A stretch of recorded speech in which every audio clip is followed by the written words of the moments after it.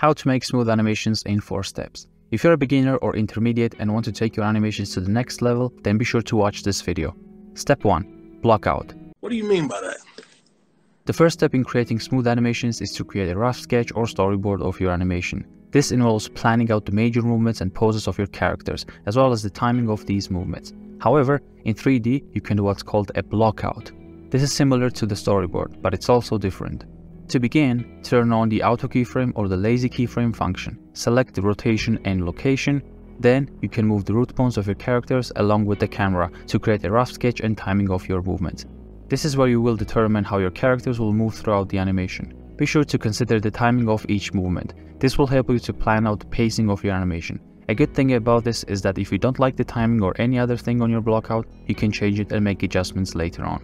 Step 2. Main Movements once you have your block out, it's time to start creating your animation's main movements. This involves creating the keyframes that will define the major movements of your characters. In this step, you should create additional keyframes to define the major movements and poses of your characters throughout the animation. Be sure to pay close attention to the timing of each movement to ensure that your animation flows smoothly.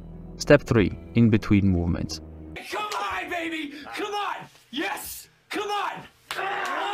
With your main keyframes in place, it's time to add the in-between movements. Those are the keyframes that occur between the major movements to help create a smoother, more fluid animation. To add in-between movements, move the timeline to a point between two keyframes. For example, if one frame is at 0 and another frame is at 10, then you can move the timeline on frame 5, which is between 0 and 10.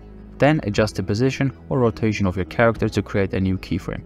Repeat this process for each in-between movement. Be sure to pay close attention to the timing of each in-between keyframes to ensure that your animation flows smoothly. Step 4. Polishing.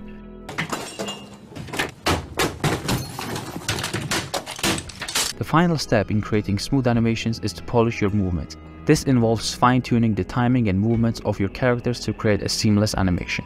To begin, watch your animation from start to finish and take notes of the areas that feel jarring or choppy. Then go back and adjust the timing or movements of those areas to create a smoother transition. Be sure to also pay close attention to the details such as the facial expressions and body language of your characters. Once you've polished your animation, watch it again from start to finish to ensure that it flows smoothly and looks polished. If you're happy with your animation, you can render it and share it wherever you want. So hopefully these steps will help you in your animating process. Be sure to like the video if you did and thanks for watching. See you next time.